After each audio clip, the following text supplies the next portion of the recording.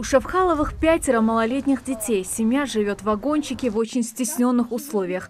На средства, которые копили несколько лет, удалось заложить фундамент и возвести стены нового дома. Кровлю приобрели в кредит, а вот затраты на окна и двери семейный бюджет уже не потянул. Именно с этой проблемой Зарема Шавхалова обратилась на программу «Диалог с народом». Глава поручил рассмотреть обращение Фонду «Солидарность». Водно Костол фонд солидарности с Диадерсом. Обращалась я э, диалог с народом программ, чтобы мне помогли бы хоть как-нибудь. Сач хачтян. Да, ахошу долж. Вагончик уже невыносимо шили. Лишь в прошлом году каждый кира бирыш, что могешь луж мяхи дет, тоже мол хаж и ешься. Царя дукахч амадули. Ишт.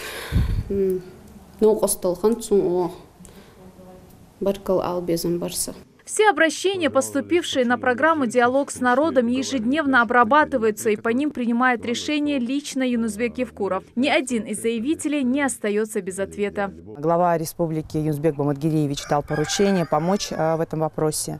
А, и вот сейчас мы уже видим, что пластиковые окна установлены, как раз и погода такая располагает тому, чтобы быстрее это было сделано.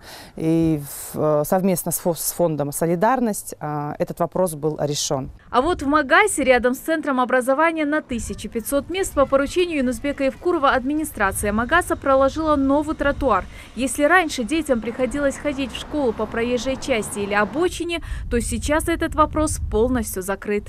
В нашей новой школе нам положили вот такой красивый тротуар. Нам теперь удобно по нему э, переходить. Очень хороший тротуар, на нем очень хорошо теперь ходить. Не теперь не нужно перебегать на дорогу, чтобы... чтобы теперь можно хорошо ходить спокойно. Шагом. Э, шагом можно ходить.